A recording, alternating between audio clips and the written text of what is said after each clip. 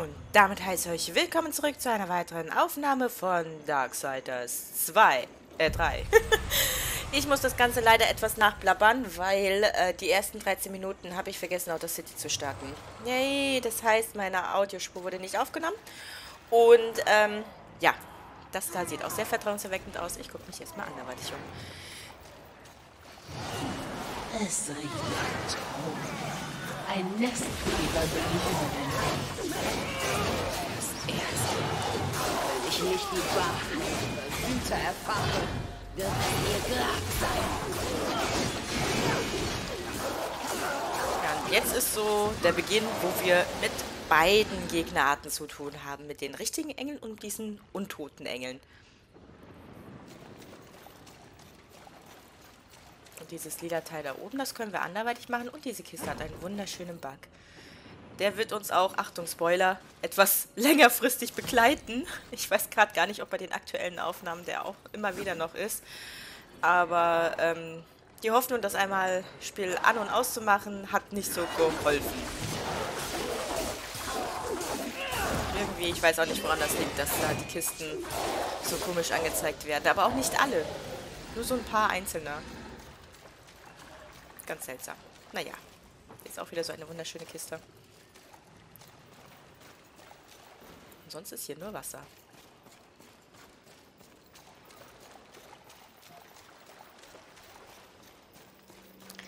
So, da haben wir wieder unseren kleinen Freund und eine wunderschöne Kristallwand. Ähm, die können wir aber leider nur mit einer anderen Fähigkeit benutzen. Ich bin hier gerade nochmal auf Nummer sicher gegangen, dass das wirklich mit einer anderen Fähigkeit ist. Aber ähm, ich gebe mal so einen Tipp. Die Farbe Lila spielt dabei eine Rolle.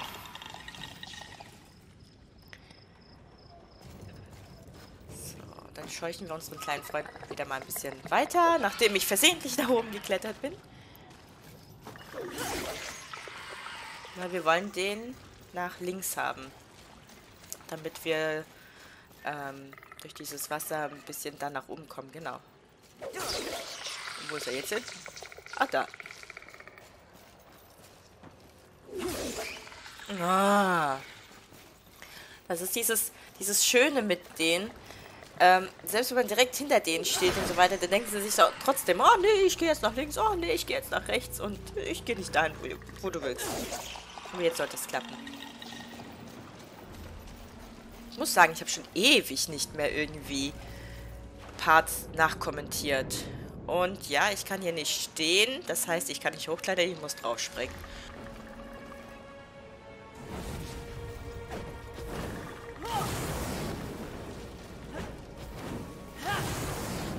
So, aber mit der Feuerfähigkeit geht das ganz gut.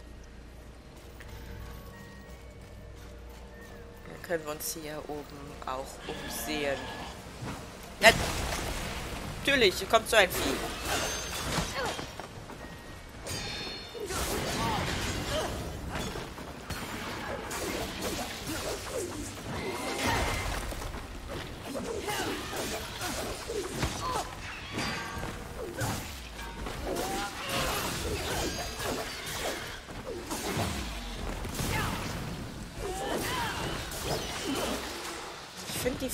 Sehen zwar cool aus, die sind auch ziemlich stark, aber da ist wieder diese, diese Sache mit dem richtigen Ausweichen, dann ist das kein Problem. Eigentlich ist jeder Gegner kein Problem, wenn man richtig ausweicht. Und man muss halt auch richtig ausweichen können, ne? Kann nicht jeder und vor allem ich nicht. So, dann gucken wir uns erstmal hier um. Und hier scheint es auch weiterzugehen. Der andere Weg sah ziemlich blockiert aus durch den Bus.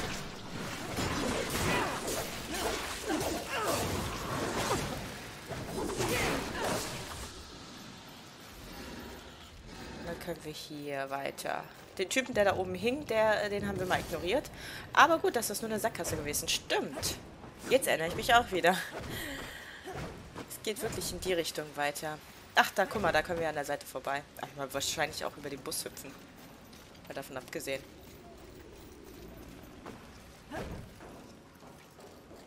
Und da ist eine Schlucht, die können wir nicht überwinden.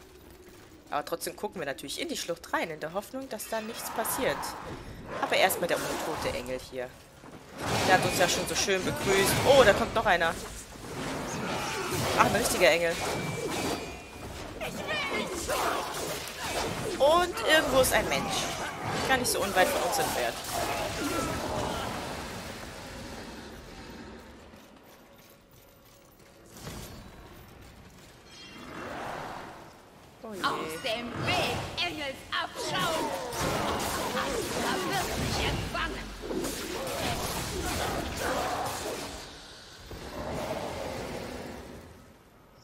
Können wir alles wegmachen.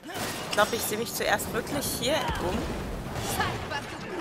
Aber ich meine, ich gehe noch raus, um in diesen Graben zu gucken. Weil da war kein giftiges Wasser, es war nur normales Wasser, wenn ich mich recht erinnere. Aber sehen wir dann, sehen wir dann. Da haben wir wieder so Kristallwände. Ach, was freue ich mich schon drauf, wenn wir alle Fähigkeiten haben und ich überall nochmal lang gehen werde ab einem gewissen Punkt. Da freue ich mich schon riesig. Und zwar dann, wenn es heißt, ähm, dass Hochmut die letzte Sünde ist. Ich will nicht sterben! Ach, und da ist der Mensch. Und da frage ich mich gerade, wie ich da hinkomme. Ja, und da, guck, ich habe doch gesagt, dass ich mich noch richtig erinnere, dass ich mich hier umsehe.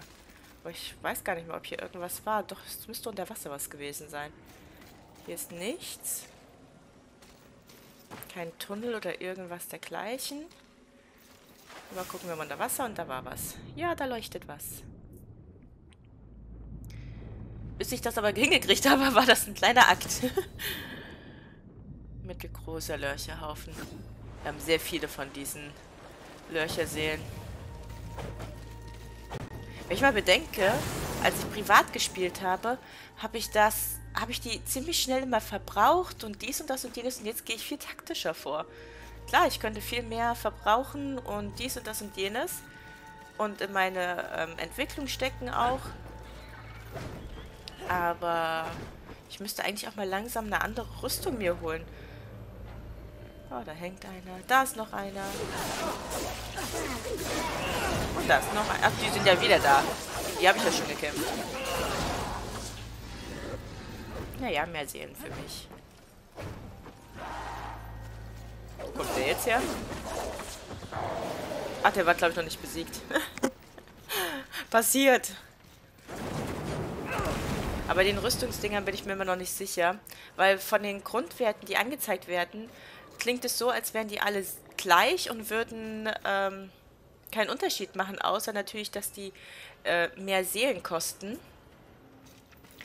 Aber ich weiß nicht, ob sie dann die einzelnen Fähigkeiten nur pushen oder ob sie alle magischen oder arkanen Dinge pushen. Das ist es halt. So. Unsere kleinen Freund werden wir jetzt dorthin machen. Das hat ganz gut funktioniert sogar. Weil wir müssen nämlich oben weiter. Wo ich so dezent mit der Kamera schon drauf geleuchtet habe.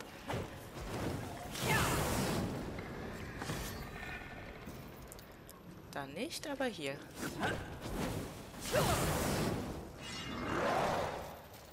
Ich bin so froh, dass wir durch Feuer eben so höher springen können. Weil der Doppelsprung an sich in dem Spiel, der ist so nutzlos.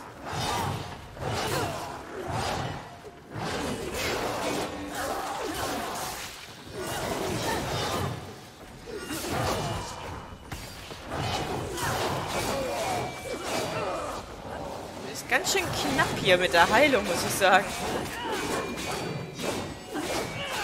Aber es ist ja grundsätzlich. Also was die manchmal so an ähm, äh, Schaden machen und auch in kürzester Zeit, wo du noch siehst, wie dein Leben weggeht und du dich nicht heilen kannst oder nicht so schnell reagieren kannst. Ich habe letztens gesehen, ähm, bei, bei ähm, einem Sterbeladebildschirm, dass ich wohl, wenn ich unten was anderes ausgewählt habe, mit der Pfeiltaste nach unten gehen kann, dann bin ich wieder bei Erholung der Nephilim. Muss ich mal ausprobieren. So, von da kamen wir nicht. Nein. Anderes Stück haben wir. Da müssen wir wahrscheinlich weiter. Dann können wir noch auf die andere Seite.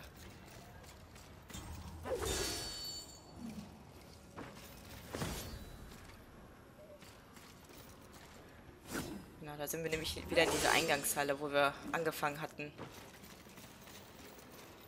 So, an einer anderen Stelle wollte ich jetzt noch nicht gucken, weil ich mich erst anderweitig hier umsehen wollte. Hier ist nämlich noch ein Engel.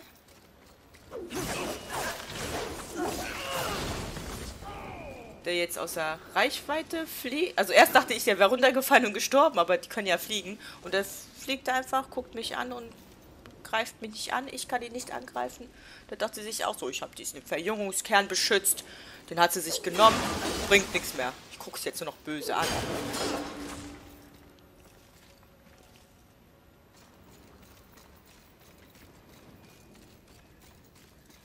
Da weiß ich auch noch nicht, wie ich rein... Ach so, über die Kristallwand. Ja, okay. Ich hab nichts gesagt.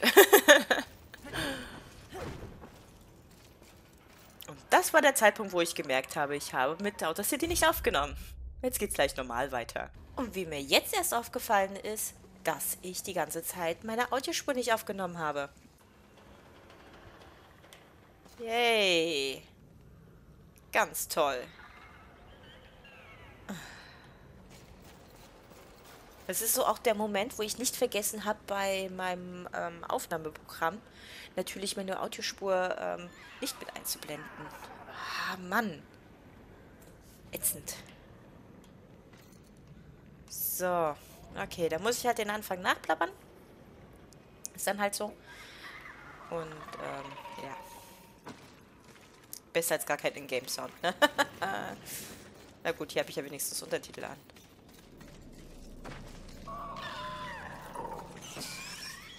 So, hier haben wir wieder Käferchen. Ich muss nur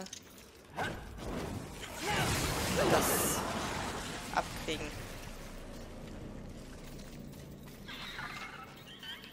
Das, auch, das könnte ich auch hier irgendwas machen. Ne? Ah, hier komme ich zu den Menschen. Hallo. Es ist genug! Genug!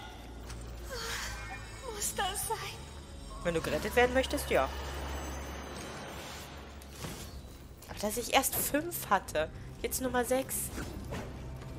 Ach, Kelle Mensch. Das kam mir echt nach viel mehr vor. So wenigstens sieben, acht oder so, dass ich halt bald bei den zehn wäre. Jo, Fresschen.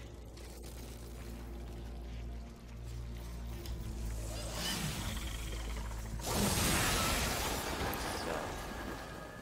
Da kann ich schon mal rüber. Jetzt muss ich mal gucken. Komm her. Gut, gut, gut, gut, gut.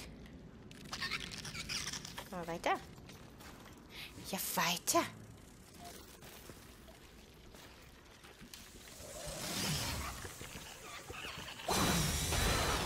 Das kaputt zu machen. Und da muss ich noch dorthin kommen. Wobei die Melodie gerade schon so ist, so nach dem Motto, ja, das war richtig. Weg frei gemacht.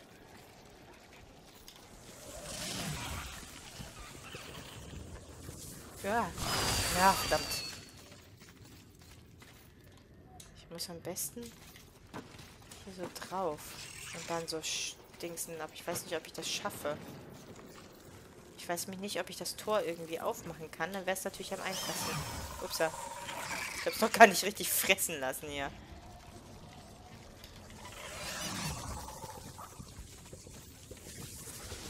Ah, ich dachte schon. Naja, okay mal, ob es schon so reicht.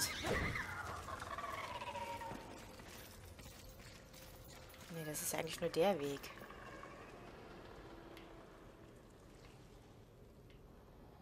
Das bringt mir hier gar nichts. Ich müsste ich doch das da freikriegen, oder?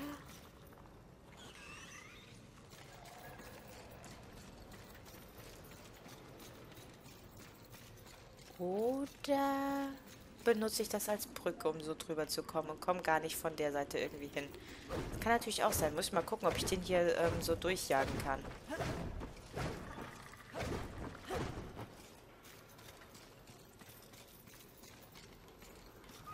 So, einmal weiter.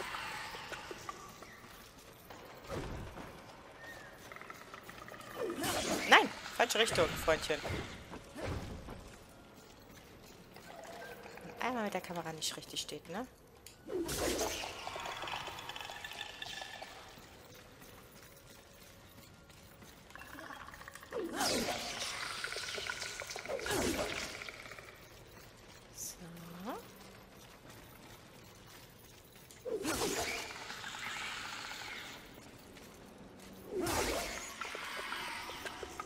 das sieht doch gut aus. Muss ich nur drauf landen? Aha. Das war knapp. Hat aber funktioniert.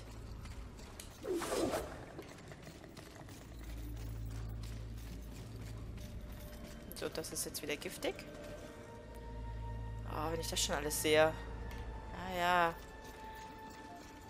Nicht gerade der himmlische Vorposten, den ich erwartet hatte. Wenn wir reingehen, Wir gehen rein? halt doch zur Abwechslung mal den Mund.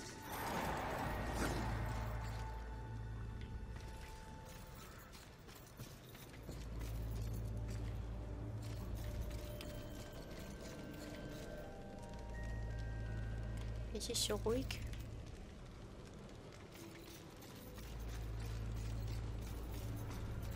Da kriegt man ja Angst.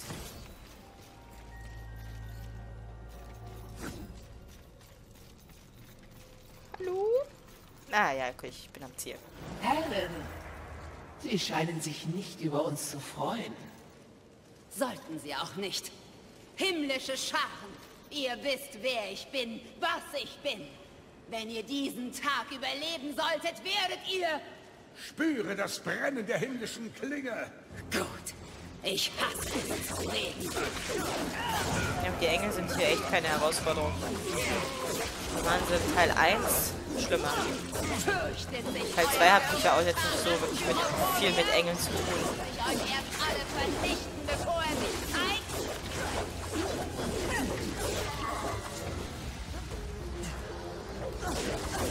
Der wird schlimmer.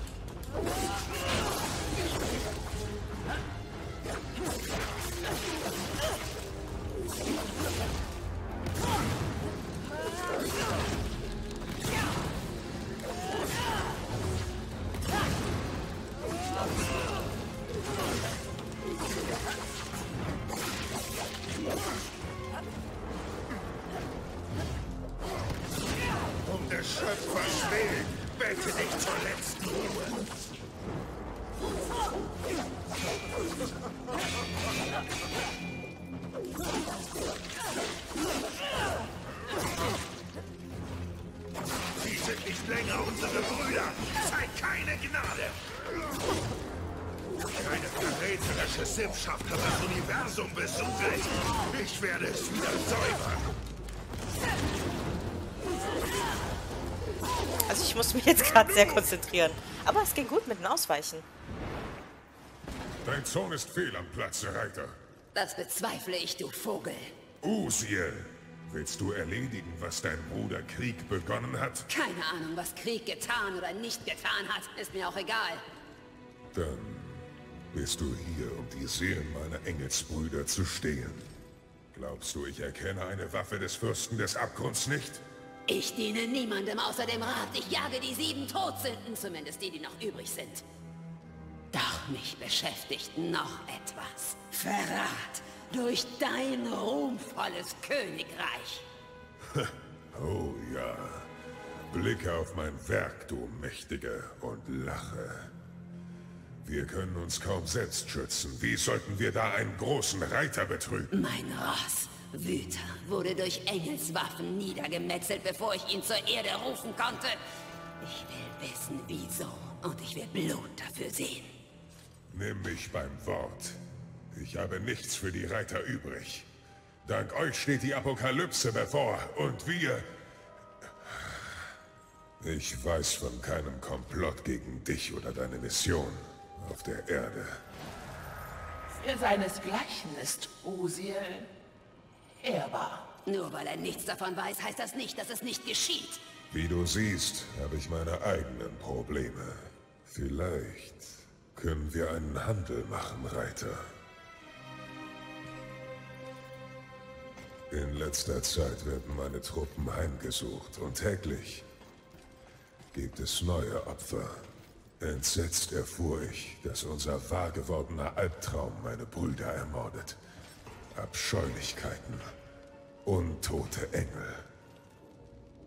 Auch Dämonen sind ihr Ziel, die sie ebenfalls mit ins Reich der Untoten nimmt. Und wer ist deiner Einschätzung nach verantwortlich? Die einzige Macht im Universum, die zu einem solch ketzerischen Akt fähig ist, ist Wollust. Wollust? Du bist ja verrückt. Ich bin Wollust schon einmal begegnet. Solch eine Macht besitzt er nicht. Und wieso glaubst du, die Welt, die du einst kanntest, sei die, in der wir jetzt leben? Ein namenloser Dämon hat Wollust angeblich die Macht verliehen, es mit den Mächten des Himmels und der Hölle aufzunehmen. Ein Spielverderber in der Apokalypse. Er verwandelt Engel wie Dämonen in Untote. Hirnlose Geschöpfe, versessen auf Gewalt und Zerstörung. Wenn ich also Wollust eliminiere und damit dein Dilemma behebe, tust du auch etwas für mich? Ist das der Handel, den du vorschlägst? In der Tat, sofern es in meiner Macht liegt. Und wir beweisen, dass wir dir nichts Böses wollen, Reiter. Möge dir diese Kreuzklinge im Kampf gegen Wollust gute Dienste leisten. Wenn wir die wachsende Kraft von Wollust nicht eindämmen, sind wir alle verdammt. Finde heraus, wer mich töten wollte. Im Gegenzug zwinge ich Wollust dazu, die Quelle seiner Macht preiszugeben, bevor ich ihn zerstöre. Abgemacht. Falls ich entdecke, dass du mich belogen hast, wirst du dir wünschen, einer meiner Brüder Herz herausreißen. Erlösung. Jetzt haben wir unsere Fernkampfwaffe endlich. Und zwar müssen wir ähm, mit Zielen, LT um bis zu vier Ziele markieren können wir. Und dann halt werfen. Ja. Ja. Also quasi so. So werfen.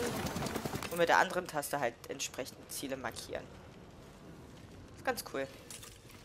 Und praktisch. Und ich finde den Engel eigentlich richtig cool. Vor allem seine Waffe. Diese Glocke. Ich weiß nicht, wie man es nennen soll. So, da möchte auch irgendwie hinkommen können, ja? Ich habe nur wie. Hier rüber. Ja, doch, hier rüber. So, Engelsartefakt. Genau, Engelsartefakte gibt es um Dämonen. Keine Ahnung, Dämonenartefakt bestimmt nicht. Ach, als ob ich mir einen Namen behalten könnte. Ah, ich glaube, der Engel heißt auch Usiel. Habe ich mir das richtig behalten, wenigstens?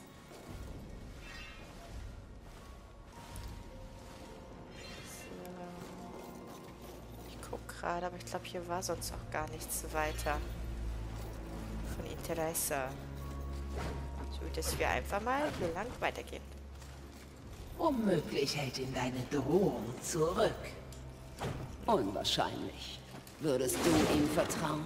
Ich bin es nicht, die sich auf ihn verlassen muss. Vertrauen gehört übrigens nicht zum Wortschatz der Beobachter. Mich eingeschlossen. Du bist unausstehlich, Geist. Das heißt ja doch Dämonenartefakt.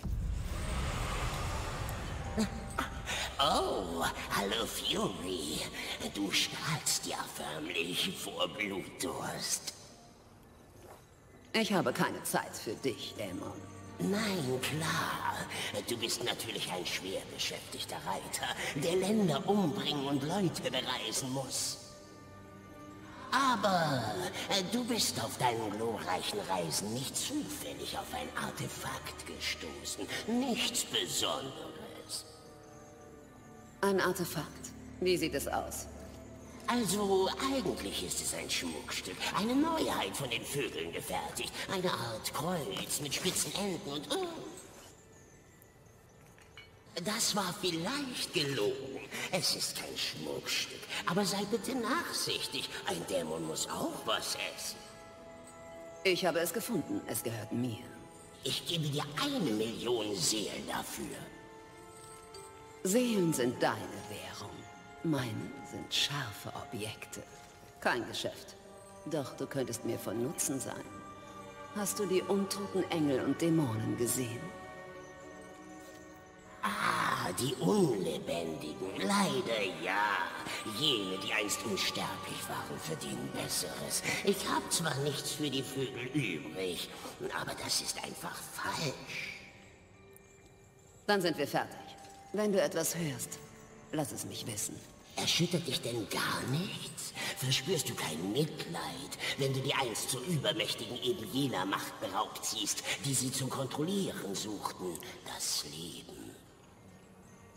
Wenn ich herausfinde, wieso sie mich umbringen wollen, schenke ich ihnen vielleicht mein Mitgefühl. Herrje, ist sie kalt. Berauschend. Zumindest für einen hitzköpfigen Dämon. Verfüttert wir erstmal die Seelen. Wie du lass dir Waren, Zeit. ja, was, was will er mir dann Neues geben wollen? Eigentlich ja nichts, ne? Nichts, was ich nicht schon hätte. Wie du willst. Leb wohl vorerst. So, von dort kam ich. Und hierhin muss ich.